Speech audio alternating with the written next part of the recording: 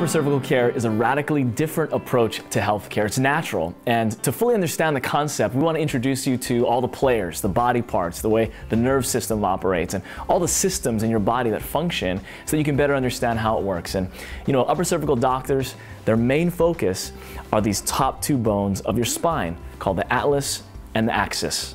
Atlas and axis. They sound very similar, but keep it straight this way. You know the Greek mythology figure Atlas? Holding up the world? Atlas is holding up your world, the brain.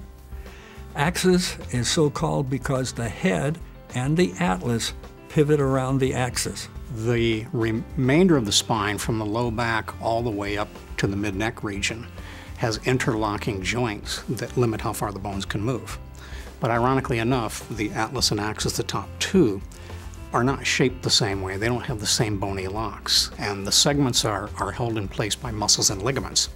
And so as a result, it's a more unstable area. And that's, of course, what gives us a tremendous amount of mobility we have in the neck area.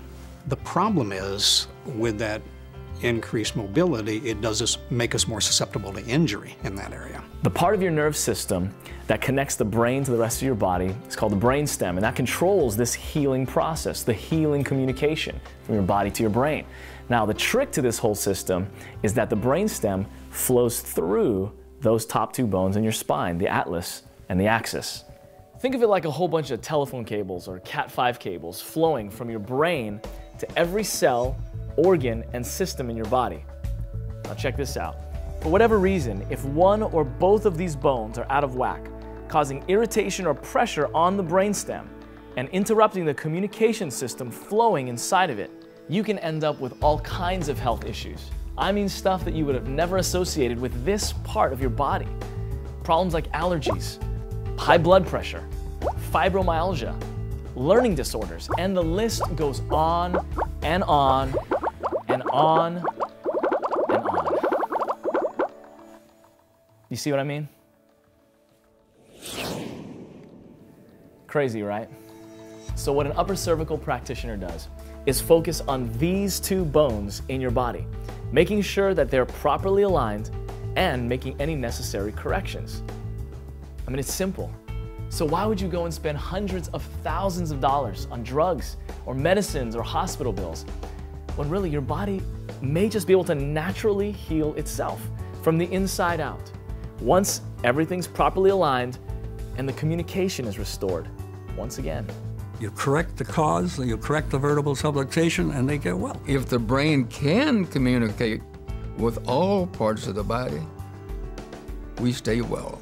We're not treating you for a certain condition. We're removing interference so that your body can heal itself, get itself back to normal function, whatever that condition is that can get back to normal function and you're healed. Do we as upper cervical doctors, do we treat diabetes? No. Legally, we can't even say we treat conditions, but we treat the body, okay? We correct the cause of the problem. We don't treat the problem. That's the problem with the healthcare system today is that they spend so much time chasing symptoms, chasing diseases when all healing resides within you. And if we can just remove the interference in that healing process, then the body will heal on its own. That's what upper cervical is all about. So you see how radically different this style of healthcare is? You know, the concept is simple, it's completely natural, and amazingly, it can aid in the powerful innate healing and wellness process that your body goes through to combat disease and ailments and any problems that you're having in any part of your body, from the top of your head to the soles of your feet. There's hope. There's hope for people that have been suffering. There's hope for people that have been sick for years. There's hope for people that have been told there's nothing else that can be done. Upper cervical chiropractic saved my life.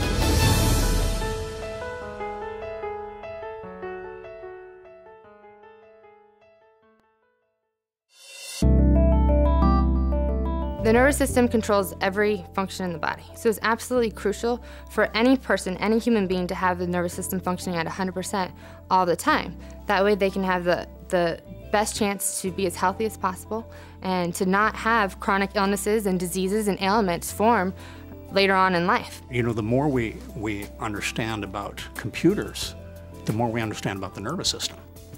And we know computers limitless uh, capacity. And it's the same thing with the nervous system. And the nervous system actually is what animates the human body, and it's also what regulates the healing process. Brain health and healing messages leave the brain by way of the brain stem, pass through the neck, down the spinal cord, out over the entire nervous system to all parts of the body. These messages control everything that goes on in the body. These messages also direct all body healing. If that spine's on that zero position, the nervous system's wide open and life is good. If the spine's off that zero position, sometimes even a measurement of three quarters of a degree, it will create stress in that in the entire body from it. It doesn't take much to really create that distress. So let's say one of the top two bones in your neck gets misaligned just enough to cause some irritation, to interfere with that nerve flow from your brain to any one or multiple parts of your body. Well, if where those particular nerves go do not get a full amount of nerve flow, then that part of the body is not going to work the way it's designed to work. So let's say, for example, um, you eat a candy bar, okay? Sugar goes into your system. All right, now in the stomach, you have sensors there that will send a message to the body, or to the brain, I mean, telling the brain, hey, you got, we got sugar in, in, in the digestive tract. We need to get the sugar out of the digestive tract into the bloodstream. So then the brain then sends a message down to the pancreas, telling the pancreas, hey, we need to produce insulin. Well, let's say there's a bone misaligned here, and it's interfering with that nerve flow to that pancreas. Well, it may be interfering 1%, 2%, 10%, 50%, anything less than 100%, eh, your pancreas isn't going to be working the way it's supposed to. Thus, you get diabetes. Okay? Now, let's say you were to go in here and we were to find that and we were to correct that misalignment. Now, all of a sudden, you get 100% of that nerve flow from the brain down to that pancreas, and then the pancreas again starts functioning the way it was supposed to. You get the full amount of insulin in the system, the sugar is taken out of the digestive system into the bloodstream. Now, all of a sudden, you no longer have diabetes. That one millimeter affects your nervous system. And because the nervous system controls everything, that's why that has such a powerful impact. Correcting that allows your body to finally heal.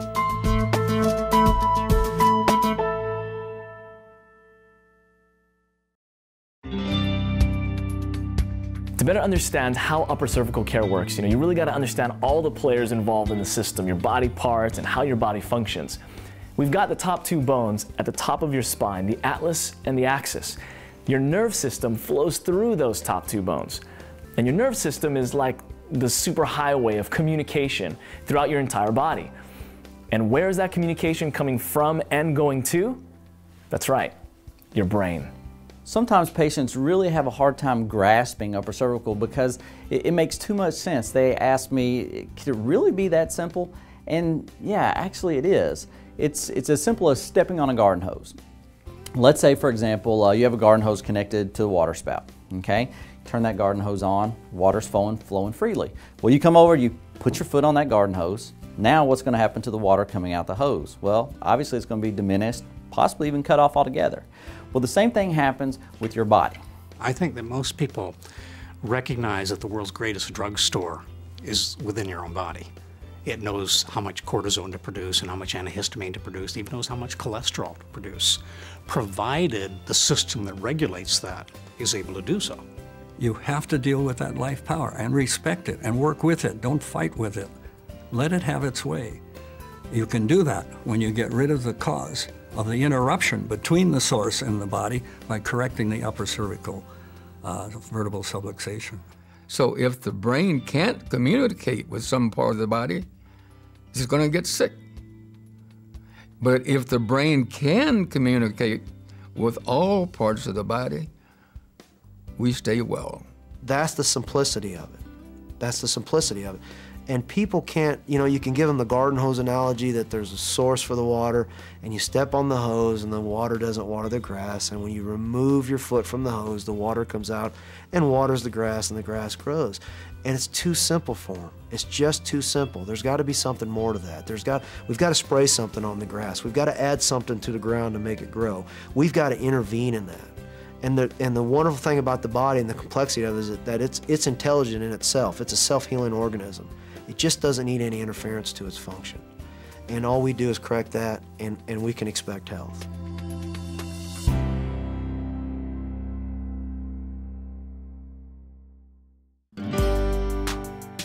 What is a subluxation? Well, don't be concerned about the technical term subluxation. It just means that there's a misalignment of one or both of these top two bones in the top of your spine, the atlas or the axis. So you don't have to be concerned about the term. What you do need to be concerned about is if you have a subluxation and the negative impact that it's having on your body. One third of the nerves up here produce pain when they're pinched. Two thirds of them don't. So you see, two thirds of the people are walking around like this saying, I don't need a chiropractor, I feel fine. Okay? And they feel fine because the body has produced certain chemicals to deaden the nerves. Otherwise, we would all have just unrelenting pain. And so these hidden subluxations, sadly enough, are as common as cavities. Picture if you have an electrical panel in your garage that runs electricity to your entire house. If the one the switches down below run, you flip those breaker switches, they run power to the regions of the house, but that main power switch turns on power to the entire thing. So if you don't get these two bones back in alignment in this upper cervical spine, it's like that main power switch. You're not getting that information to that entire house. Your body can't function or heal properly. The challenge that you have with vertebral subluxations is the fact that the vertebra is, is just not moving and it's crushing and compressing the nerves. And the end result is, is that the, the person can start spiraling downhill, especially if they're using a lot of pharmacological agents, because there isn't a drug in the world that's going to move the atlas back into position. And so that's one of the unique dynamics of upper cervical care. An upper cervical care doctor is not chasing after pain or symptoms, they're going right for the cause of that disease or ailment, which is the subluxation.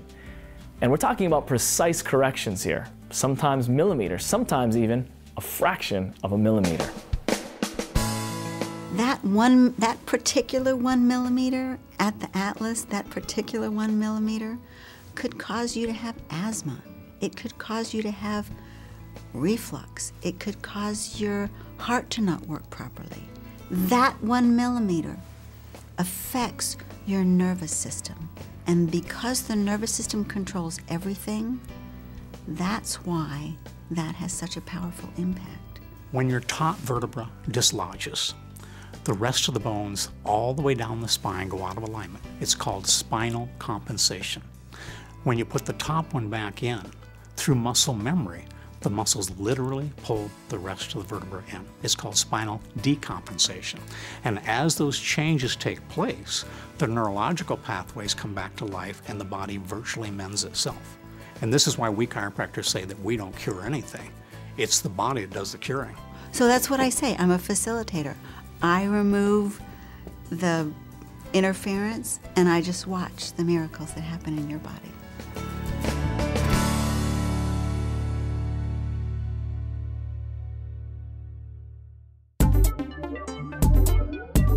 The power of upper cervical care is found in the proper placement of those top two bones in your neck, the atlas and the axis.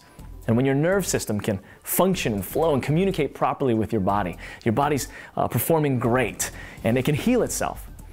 But there's a second issue when you have a misalignment of those top two bones. It's called body imbalance. And I want you to catch this because I want you to see how dependent your bones and the structure of your body is on those two bones being properly aligned. What happens is, when one of these bones in the upper part of the neck get misaligned, the head sits on top of that bone. Well, as the brain is designed to be level, okay, it even has its own reflex that's, that, that makes the head stay level. So when this bone misaligns, it gets stuck, okay? The body can't unstick it. So what it does is the brain will send a message down to the body telling the body to compensate or change itself till it gets that head level.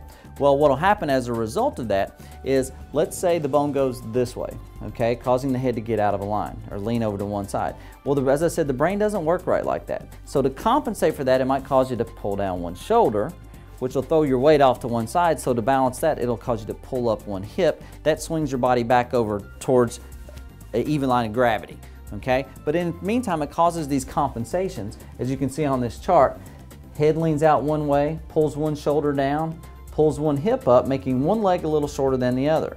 Well, that throws all your balance off towards one side and ultimately can end up in tight, contracted, spastic muscles in anywhere from the base of your head down to the bottom of your feet. So over time, that ultimately starts to wear down and, and can cause some compens compensatory changes that end up causing you neck pain, back pain, leg pain, hip pain, foot pain, knee pain, etc. If you will, visualize, stack up 24 dominoes, put a bowling ball on top. Biomechanically, that's the structure we're working with. And the critical area is right there at the base of the skull. If you look at the way that it's designed and put together, that's the critical area that will discern where the weight of the head is being carried. And if you center that, the rest of the spine can balance with it. If your head is not on straight, it wants to plop down like this and we need to keep the head level for equilibrium and balance reasons. So the muscles from the base of the skull to the bottom of the neck, upper, uh, upper thoracic area, have to tighten and shorten to hold the head upright. So you end up having atrophied, dried up muscles on the anterior and hypertrophied or thickened muscles on the posterior. And this is frequently why people need to have their shoulders rubbed all the time because those muscles are just so tight and rigid. And the irony is, if you have this rigidity, you can go to Hawaii and relax as much as you want, and the muscles are still as rigid as can be because they're mechanically having to hold that head up. Now, once the atlas is put back in position and the irritation is taken off of the nerves, the first thing that happens is the cervical thoracic muscles, the muscles down the shoulder blades, start to let go. And then the muscles in the anterior neck actually start to wake up and start to pull the curve forward. And sometimes you might even think it's swollen glands, and it's not. It's really just the muscles pulling that curve back towards normal. And the curious thing is, when you lose the curve in your neck, you frequently lose the curve in your lower back. And so as your neck curve comes back, your lower back curve comes back. And that's why, even though I only adjust upper neck, the number one condition I see in my office is low back pain. And the number two condition I see is sciatica, the pain down the leg into the foot. And it responds extremely well by getting that upper neck put in place. He's, um, I want to say, about eight years old. He uh, is in a wheelchair. Um, but he came in to me about six weeks ago with his left leg easily two and a half inches shorter than his right, and they were looking at some measurable surgical corrections to try and um, deal with that issue because of contractures. And within the first adjustment, we dropped him to within a half an inch. My staff was crying. I was crying. The mom was crying because sometimes you don't know the power of the adjustment until you set that into play.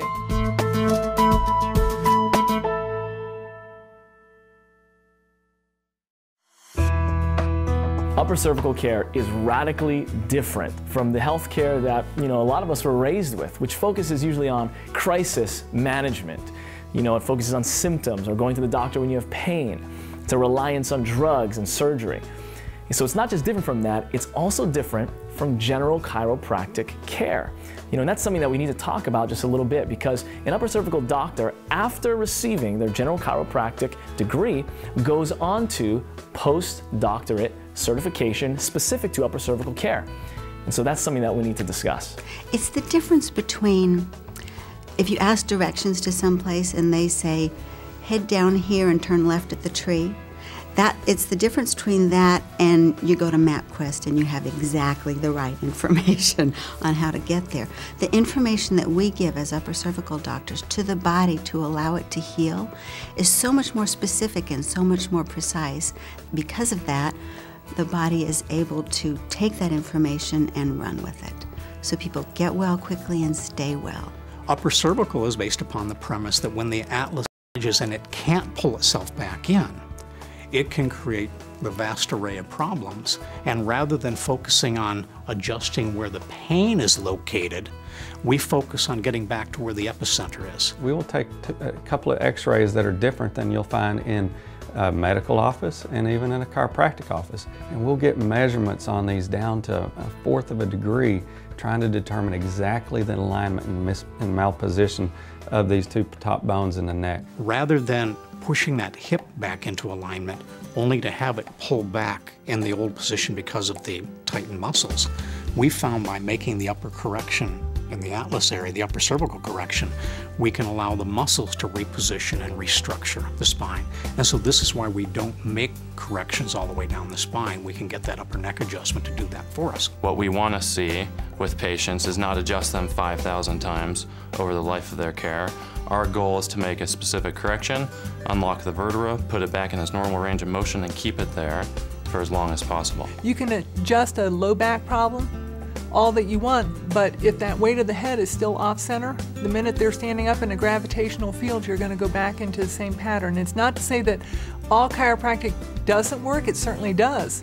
But I want to clear from above down and inside out. I want to make sure it's on 100%. What we do is safe and gentle and does not hurt people.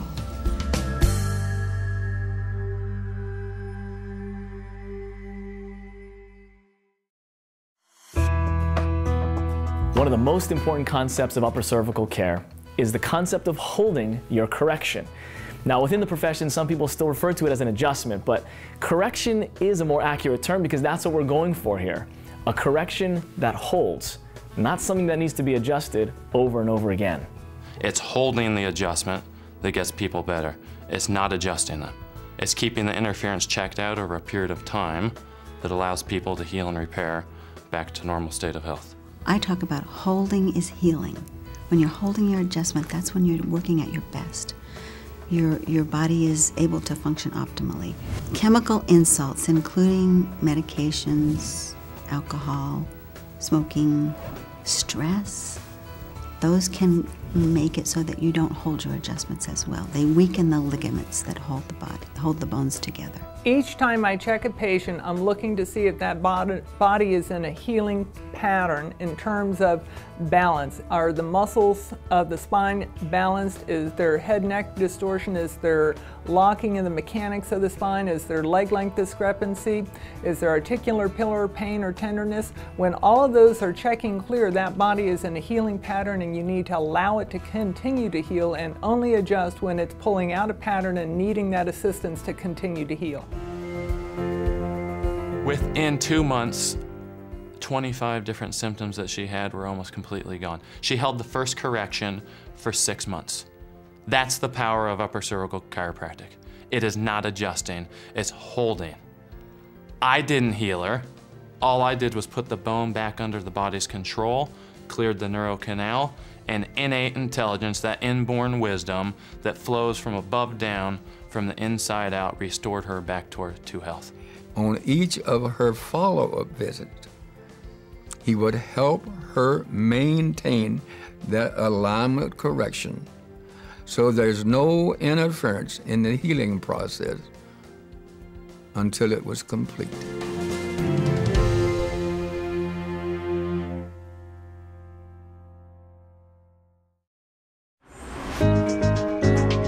More familiar with the power of upper cervical care, you begin to see how it aids in the process uh, of, of healing and wellness that your body does naturally from the top down and the inside out.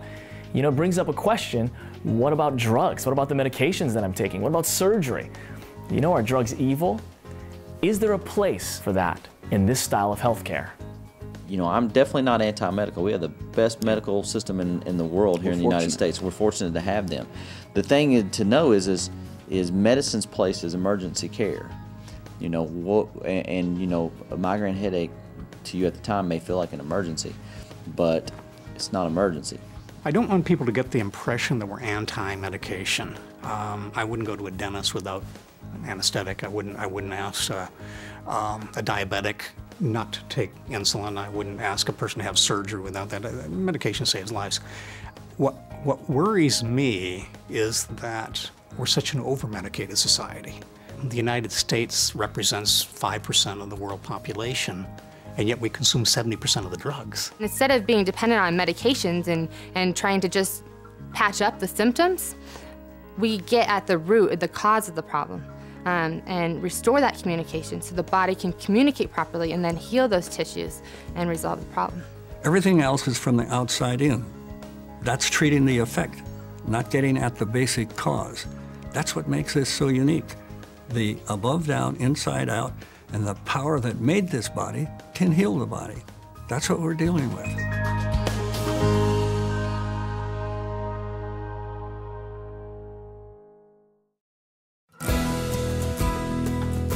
You know, one of the questions that upper cervical doctors get asked the most is, if this is so amazing, why haven't I heard of this before? That's a great question, and there are a bunch of different answers to that question, and some are a bit more complex than others. The public today has been so inundated with intervention that they don't even, they're not even looking for non interference. They do not realize that it exists. They don't know that that's a choice. They don't know if they can find the underlying problem that's, that's causing whatever condition they have. The overpowering effect of constant advertising is what brainwashes literally people into, oh, I have a headache, I'll take three Tylenol or whatever. And add that to the fact that they're overmarketed too. I mean, you know, it's just a well, the average the average 18 year old has seen over 20,000 hours of drug commercials. Please don't get me wrong. There are life-saving drugs out there. There are drugs that can save somebody's life, but if you look at the degree of advertising with medications on TV alone, um, you know, we're not being told to look at the body to help balance it. We're being told to take another pill, which has side effects. This information's out there, but there are people that don't want you to know about it. There are people that want this to be kept secret. There are people that denigrate chiropractic in general. That's that's the biggest thing we have to overcome is the lack of education or or ignorance of of the work that we do. But it can happen. It will happen. I want there to be an upper cervical doctor on every block. and if the awareness is raised in the public about upper cervical, more chiropractors will choose to do upper cervical. Right now in the United States, uh, out of all the chiropractic schools, there's probably only four that are actually teaching the upper cervical work. What saddens me is how many people out there have problems where they're told it's all in their head, or they're told that there's no answer for you. And that has got to change. And I'm hoping that this upper cervical movement will get so strong that people will realize that the wisdom that made this body made this body to fix itself. There's a better message, there's a better paradigm, and upper cervical will be on the map soon.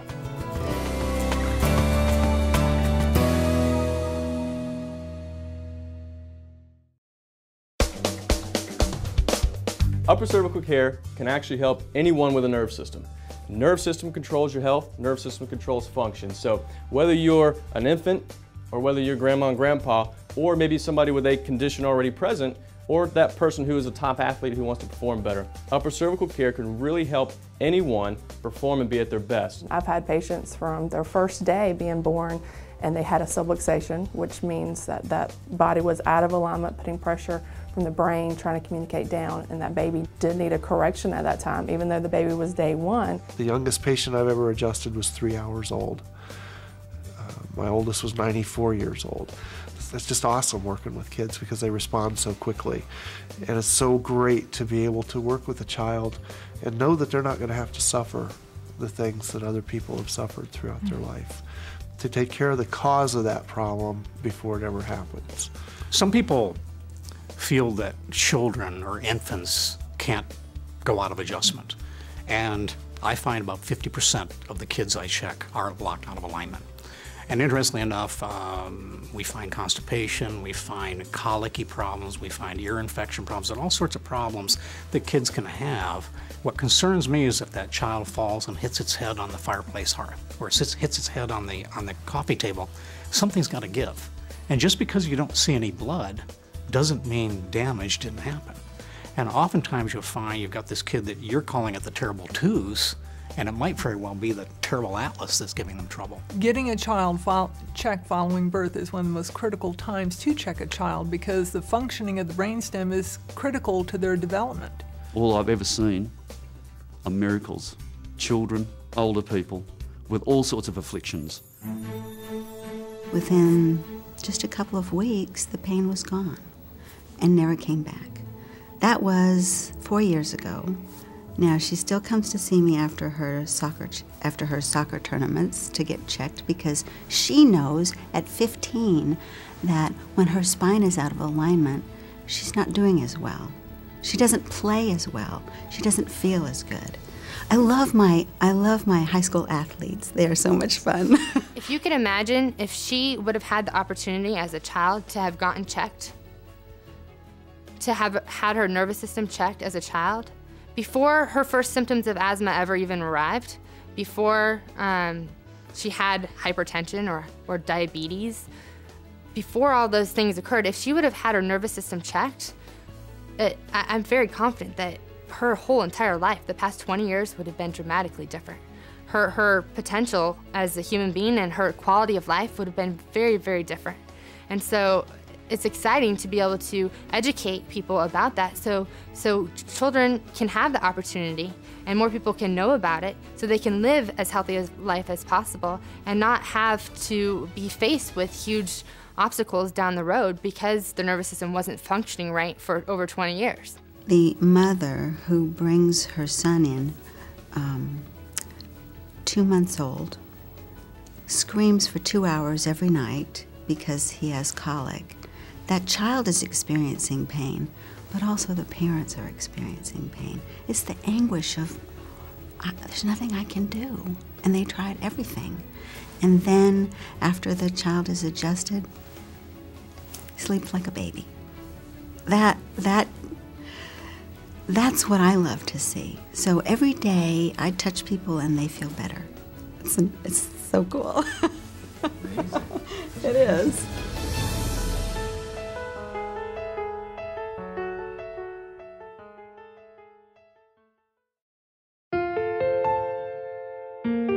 You know, one of the coolest things about upper cervical care is that upper cervical care doctors focus on this part of the body, but they see healing all over the body.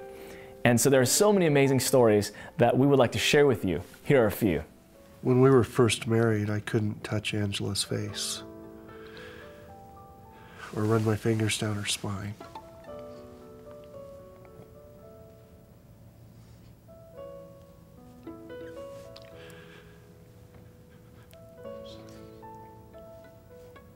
I've always been very proud of how she handled all that pain. At school, sometimes kids do these posters and they put their hands in paint and they stick their hands on the poster. And she wrote this, it was Father's Day. Dear Dad, of course they helped them write this stuff, but it was in painting. Um, I really love you, I hope you get well. Two little hands. She knew I was sick. She didn't know why. And I didn't know why.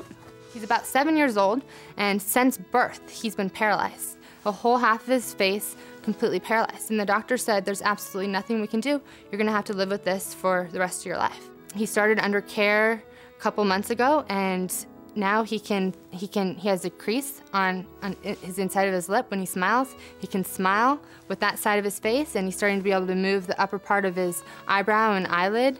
Um, so it's amazing. So I got off the table, and for the first time, my low back pain was gone. My neck and shoulders just, it was just like somebody just untwisted a tight dish rag or something, and it just, it just dissipated. And then Michael said, Well, take a couple of steps. So I took a couple of steps, and my legs weren't tingling yet. And because I had, I guess, neuropathy, I think is the name of it, but anyway, the tingling.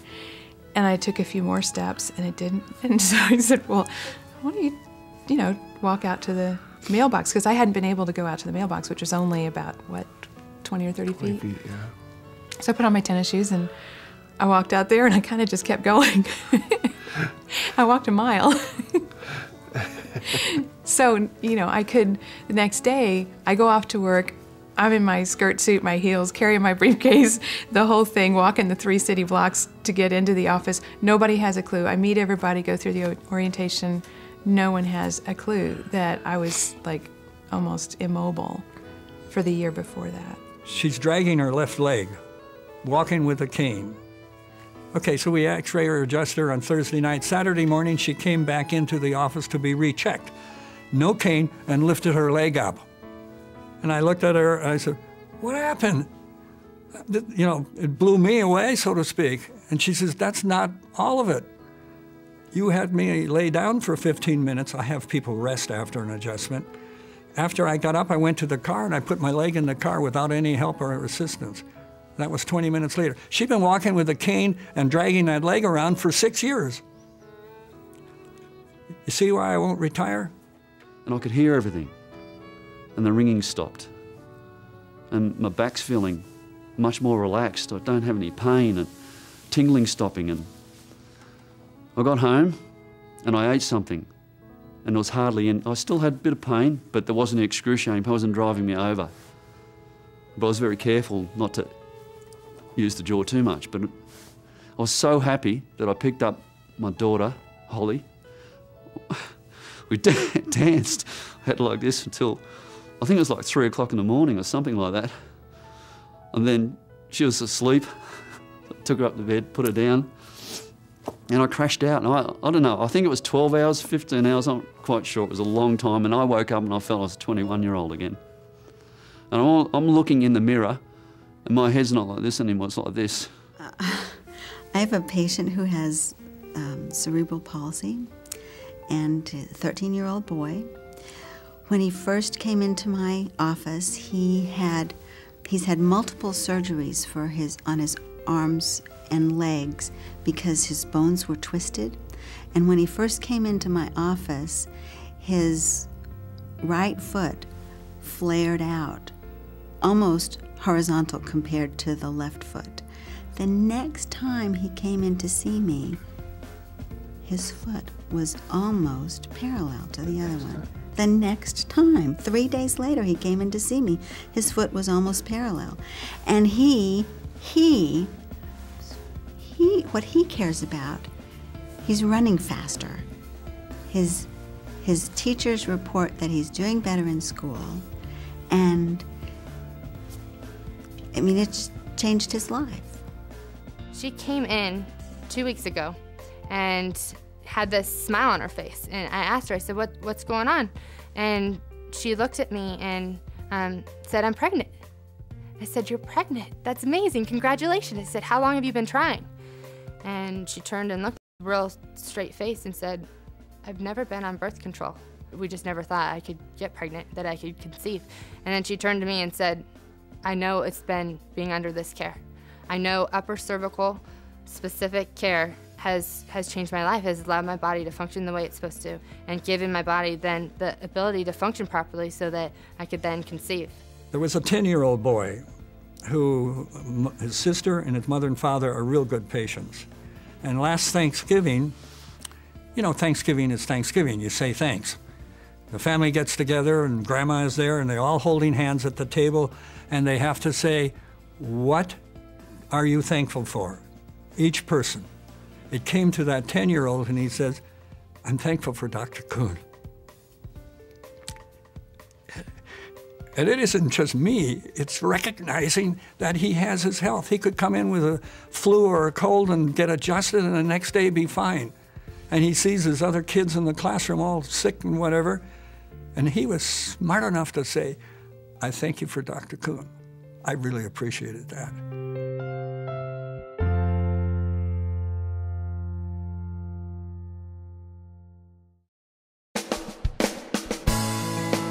Unfortunately, upper cervical care is still the best kept secret in healthcare, and we're trying to change that. You know, these videos are part of that change. UpperCervicalCare.com is doing its part as well. But you know, to fully understand why upper cervical care hasn't fully infiltrated society, you've got to understand its history. In 1893, uh, a man by the name of Daniel David Palmer went by the name D.D. Palmer. Um, he was working in his office one night and he had a janitor there that was telling him about how he lost his hearing like 17 years ago. Uh, and what happened was he heard a little pop sound uh, up in his neck and then all of a sudden his hearing went away. Well, Dee Dee said, well, let's, let's take a look at your neck and see if maybe we can figure out why, what happened to make you lose your hearing. So when he started feeling around his neck, he felt a little lump. And what happened was he pushed on that lump and made a popping sound. Well, at first nothing happened. So he did it three days in a row and pushed on that lump and popped that neck and boom, his hearing came back all of a sudden. So D.D. Palmer said, I've got the cure for all deaf people. Dee Dee had people coming from all over the world with deafness. Well, not all the deaf people got their hearing back, but what he found was that a lot of other conditions started clearing up. People had kidney problems that cleared up and heart conditions and stuff like that. So then his son comes into the picture, B.J. Palmer, who is uh, known as uh, the developer of chiropractic because he took what Dee was doing, which was basically pushing up and down three times on each side of the spine, any high spot, just pop, pop, pop, pop, popping anything he could pop. And some people got better, some people didn't. BJ decided, hey, we need to narrow this down. We need to find out why some people are getting better and some people aren't. So in 1935, uh, BJ started a research center. And he started off with just like what Dee did and was adjusting all the way down one side and all the way back down the other side, was pushing all the high spots. And he narrowed it down and did less and less and less. And he found his results got better and better and better. And when it was all done, by the end of his 16 years research of only the worst of the worst cases, he found that it was one of the top two bones in the, in the body, the upper cervical spine, that was the cause of pretty much all of these ailments. So that was in 1951 by the time the research was finished. Well, during that time from 19, 1893 to 1951, there was a lot of people who learned D.D. Palmer's process of adjusting up and down the spine, up and down the spine.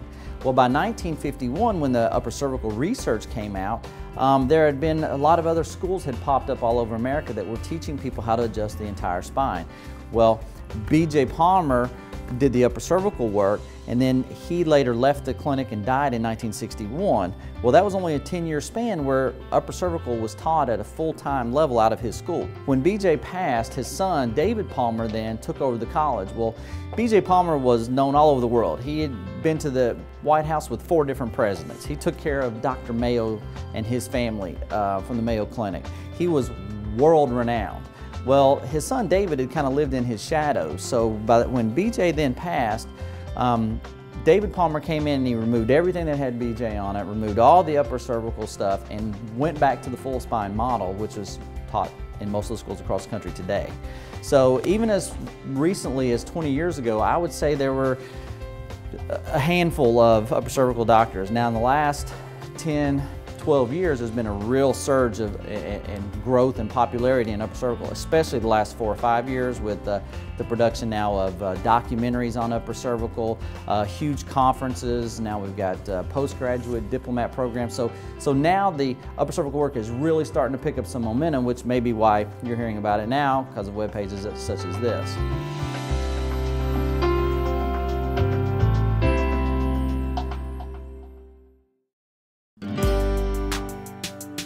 Upper cervical care is a radically different way of looking at healthcare. You know, when people start to uh, understand more about it, they get excited about it, they understand that we're dealing with the top two bones in their neck there. They, they begin to see how it relates to their nerve system and how removing interference on that brain stem when one of those bones are misaligned um, can really bring health to their body. It's a natural way of, of looking at healthcare. And uh, you know what? Uh, all the information in the world's not going to help unless someone takes some action. So tell us a little bit about uh, what happens after someone says, yeah, I want to I want to check this out. I want to see an upper cervical doctor. Um, well, obviously the first step would be to pick up the phone and call the upper cervical doctor nearest you uh, to schedule your appointment. Now, when you go in for that appointment, there may be uh, some paperwork that needs to be filled out, get a little bit of uh, a little bit more history on uh, on the patient's problem. Um, and then they'll set up, they'll go back and have a consultation with the doctor. And there the doctor will dive even deeper into that person's history and, and if there's been any traumas, any anything that could have led them up to the point that got them into that office on this particular day. Um, then they'll take them back and do a, a, an upper cervical evaluation, which is a very specific analysis to determine if that patient actually has a problem in the upper part of their neck or not. If they do find a problem there, then they take it to the next step which is to take a very specific set of x-rays to determine exactly how that upper bone or upper bones are, are positioned or, or, out of position and possibly leading to the person's condition that brought them in today. So those x-rays are super specific and they're tailored for that patient and the doctor is able to then evaluate those x-rays and then set up a second visit. Mm -hmm. Typically the doctor will be able to, to look over those x-rays on that, that, that evening, usually that first visit. So the patient could come back in as soon as the next day. um, where then the doctor will actually go over those x-rays with the patient. They'll actually show them, okay, this is the position of the bone now, and this is where it's supposed to be, and this is how we feel it's causing your problem. Now also on that, on that second visit, they'll give them their first correction, uh, which means they'll actually reposition that bone back where it's supposed to be. So this is a very, uh, a very gentle correction, very different maybe if you've experienced even chiropractic care, um, and we're trying to correct. Some people don't like to call it adjustments because we don't want to adjust forever, do we? We really want to correct and free up that brainstem to, to operate properly. So then there's a third, there's a follow-up visit, right? There's one more? Well, if that doctor determines that he can't help them, uh, then they'll set up another appointment for the, for the patient to come in and go through a very specific care plan for that particular patient. Uh, every patient's different, obviously, so they all require different type of plan. So that doctor will go through that patient's history, the x-rays, um, and put together a tailored program to help that person get well. And they'll usually go over that on the third visit. Also, based off of that plan, they'll put together a, a financial plan uh, to go along with it to uh, make it affordable. And does insurance cover uh, some of you know the upper cervical care? Is that is that part of that? Yeah, if you have chiropractic coverage, uh, then uh, it, it will pay for upper cervical care at the same time. And then we will we will put together a variety of different payment plans, uh, best suited for each patient, just to make sure that it'll be affordable to them. Uh, this is different than um, some people that experience in chiropractic care because this is something that, you know, it's almost like you're trying to get out of their life, aren't you? Because you're trying to say, hey, we're trying to correct you and free you and hold that correction, right? So it's not like we want to see you three times for every week for the rest of your life, is it? Right. See, that's what's so good about upper cervical care is we have a system uh, to check to see if there is a problem or not. And, and obviously, as you're correcting a problem, eventually it's going to start to stay corrected. Mm. We probably uh, we probably correct or adjust less than half of what uh, what general chiropractic does. So it's not it's you may not be corrected every single visit. Oh no, if you are, there's something wrong. Yeah, that, yeah so we don't want that. That's not our, that's not our no, goal. our our goal is to fix the problem, and it's not you know if, if it's not starting to hold, then we need to do a re reevaluate what's going on, why it's not holding. You know, all the information in the world is, uh, is not going to help unless you take action. At uppercervicalcare.com, you click the Locate a Doctor button. There's an interactive map. There's other different ways that you can find a doctor near you. And it doesn't, you don't have to be in pain right now.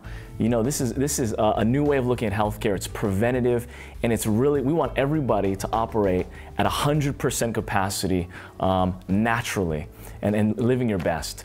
So take action today to find an upper cervical doctor.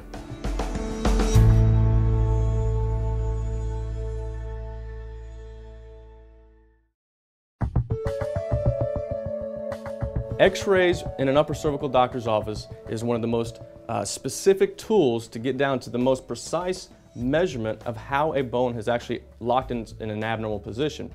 So for an upper, upper, cervical doctor to utilize the proper care for a patient, we need to know how that bone is moved, even to the nth degree of millimeter, because that millimeter of misalignment can mean literally life or death. Each patient that I wish to adjust accurately, I need to pinpoint the cause of their subluxation and what that pattern is. Without that blueprint, I'm only guessing. When the spine misaligns, it's not that this bone goes out of place. It only goes out of place in relationship to everything else. So what we do then is from this central or central zero point, the x-rays that we take from the side, the front, and the top, what we're looking for is to see how much forward or backward, how much turning side to side, and how much to the right or the left. Well, there's 274 different ways the bone can misalign, and I would want to be very specific on how we align it so your body can achieve the best health. And so we actually have to take precise x-rays of the neck to find out just exactly how far that upper cervical subluxation is out of alignment so we know exactly how to adjust it back into place. And if you know the exact angles and degrees, it doesn't take much force. And my x-rays are very uh, specific. And that means we take nine x rays, two of them are in stereo, stereoscopic. I want to know where that bone is. And that means not that it just slipped right or left. Did it go forward and up to the right? Did it go back and under to the right? If it went back and under, I want to adjust it back towards center. If it went back and under, I don't want to be over here. I certainly don't want to be on the other side. I'm stressing a millimeter to two millimeter misalignment, so this has got to be finessed. We are very, very, very precise and specific, and it begins with the x rays.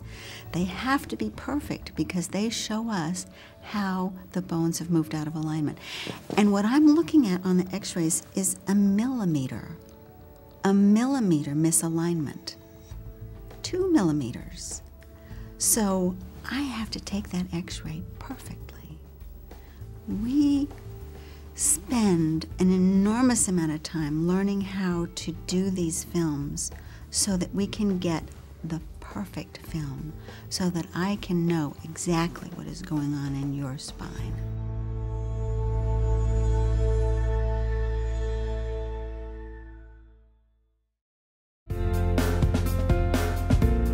After your first correction, um, you may experience some soreness um, due to the body being out of balance for so long and the body's trying to get back in balance. There's a lot of muscles and stuff that have been out of place. And as they start to restructure, there's toxins that build up in the muscles.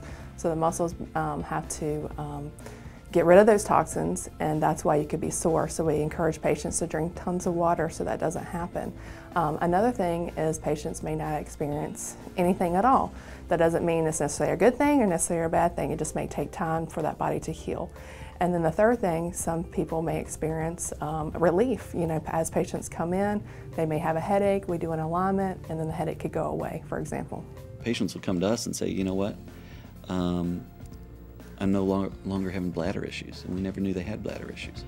You know, the body just starts to heal itself. We don't know what it could possibly be, be helping. Within minutes, some things started to happen. Positive things. It was almost like my whole feet started to warm up. When she turned that switch on and opened that up, so that brain stem that's set right in the center of those two, when she opened that up, the first thing my brain stem did is it heard and felt this pain. And I'm sure it said, What are you doing? And my jaw went, I'm pouring it on. And my brain said, Stop that. And it stopped. That was the only adjustment I ever gave her. She made it a miraculous recovery. Lived 15 years after that. Friends and neighbors called it a miracle.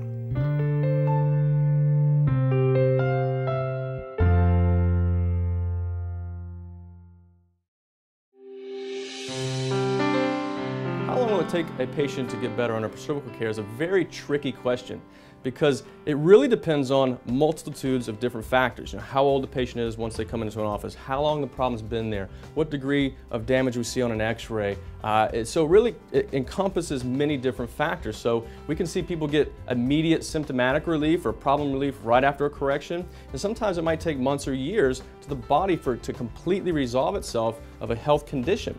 And it also depends on what your lifestyle factors are like. Maybe you know if you're a smoker or if you have any kind of emotional stress or, or, or physical stress, maybe you have a demanding job. Or, so a lot of those factors take into play. And really when it comes down to is that you have to know what it takes in all aspects of your life to regain health. 25% of the patients we adjust within the first week, they have what I call the wow experience. Wow. If I had known about this 20 years ago, I would have been here 20 years ago. The other percentage of patients, they slowly start to come out of this, their problems. And, and that makes sense if you've been suffering, had tissue damage and inflammation and ligament damage and all sorts of problems, it's not gonna happen overnight. But it took five years to completely correct that neurological situation. Um, I've seen many younger patients and patients who have not had those problems as significantly as she has heal up much faster. Now, for instance, for a small child that's only had a misalignment a few days or a few weeks or a couple years, obviously can recover quicker than someone that's had a misalignment for 30 or 40 years. How long you've had your subluxation plays a major role. If you were dropped on the floor or fell off the changing table at, at, at age one and came in to see me at age 30, 30 year old patient's pretty young, but they have a 29 year old subluxation. And the problem that they're going to have is their muscles will have amnesia. They've lost their memory. So they do not know how to pull themselves back in place. So you might think the number one objective I have is to get rid of your pain and get rid of your symptoms. And fortunately, with upper cervical, that's usually the first thing to go away. But what I'm really concerned about is getting the memory back in those muscles and ligaments. so that they can start pulling the segment back in on their own. I don't want to follow you around the rest of your life when you go to Yosemite. Well, maybe when you go to Yosemite, Hawaii. But what I'd, what I'd rather do is have that spine regain its memory it's supposed to have and learn how to fix itself.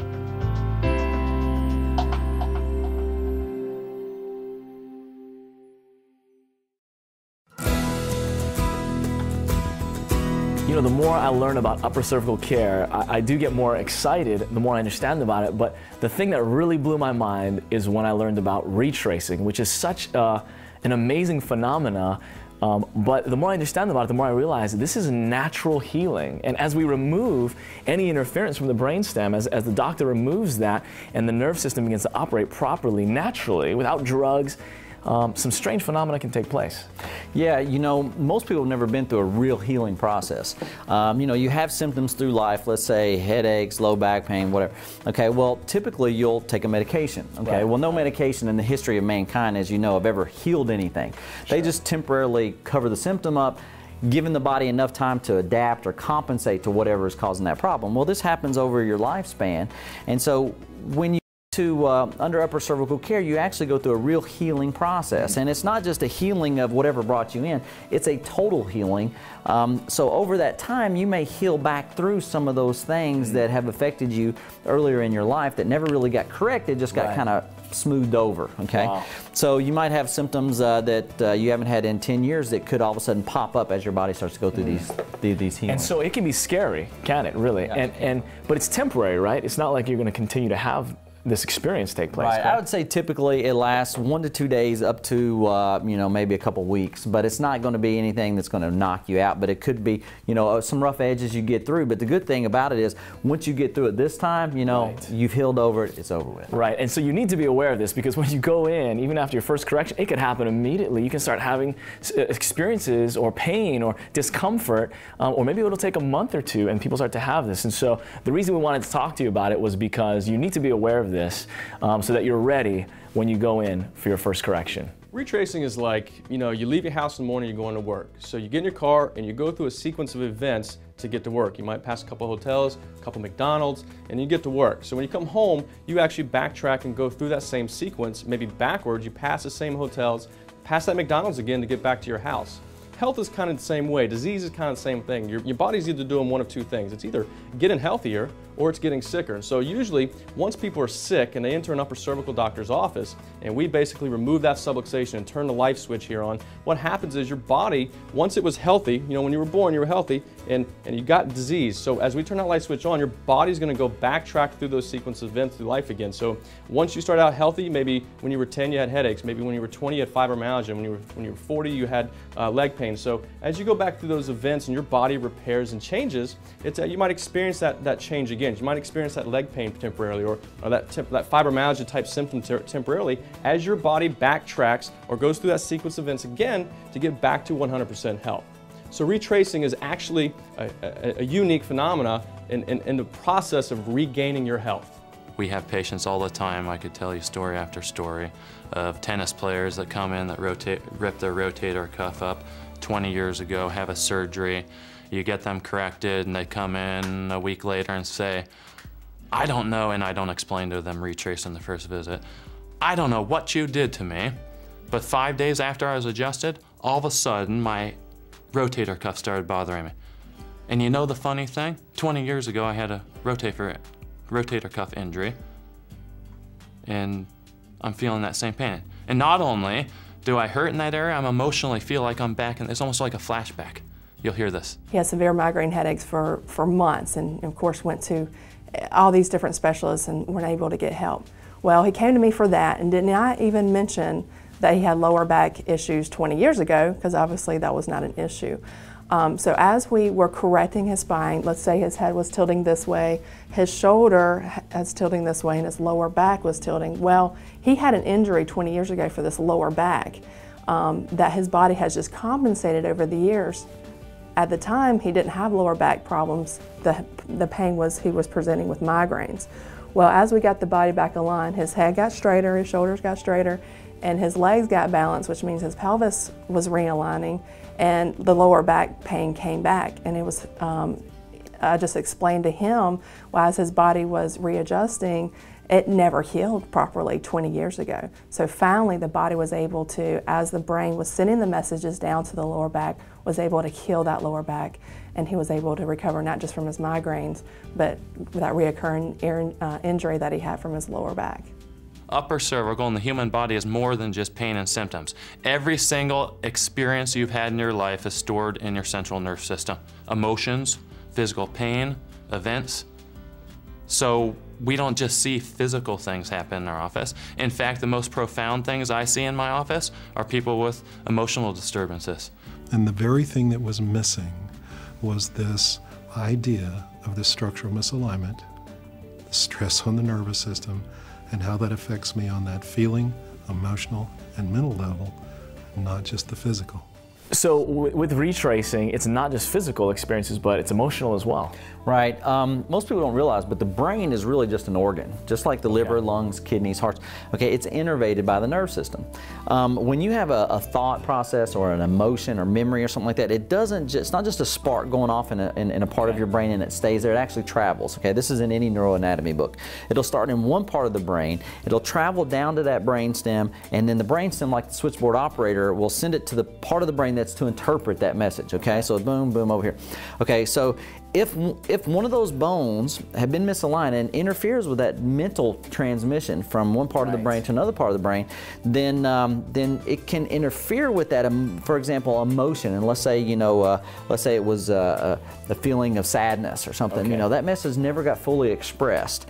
Okay, so if you were to go in and, and you were to remove that interference, all of a sudden you might have a mad rush of a, of a certain emotion wow. um, that that is affected, and the person you know has no no explanation to like, you know, I, I, nothing made me sad, but I can't quit crying. Sure. Or nothing made me happy, but I can't, can't quit laughing. And so you're saying even after that first correction, like right when that it can happen immediately sometimes. It can happen immediately. Sometimes uh, sometimes it, it doesn't happen for weeks or even months later. Wow. But uh, you know, as part of the healing process, sometimes you release some of those emotions that have that that had not been previously released. So sadness, joy, even. Exactly. I mean, one of the most memorable things I, uh, that happened to me in my office was one day uh, a person came in got the very first correction. I took them out in my office. I have a rest area where you lay down for a few minutes to make sure that we, we got the correction. And, and so I walked out there, and she'd been been laying down. I walked out there and there's 10 people laying down and they're all just belly laughing. And I walked down like, what is going on? Wow. Well, the one patient said, I don't know. She said, but I just can't quit laughing. And you know, laughing's contagious. Right. So once she started, you know, it dominoed. Everybody in the whole place was just dying laughing. Uh, unbelievable. And it just happened after our first correction. Boom, that comes back. First you know, it's it's a it's a strange phenomenon, but it's it's natural. And you know, a lot of people obviously don't know about you know what, what it means for your body to naturally heal itself, but it's it's temporary, right? I mean, you're not going to be experiencing right. this forever. Typically, it'll happen within the first two or three uh, corrections, or possibly even two or three weeks down the road. But it only lasts, um, you know, sometimes it'll last for a few minutes, up to uh, you know maybe a week or so, mm. um, you know, depending on what type of uh, retracing it is and how long you'd had it previously. Unbelievable. So that's what we got, we got to talk about that because you need to understand what's happening before you go in because it can be a shock to people. Uh, but that is uh, the amazing phenomena of retracing.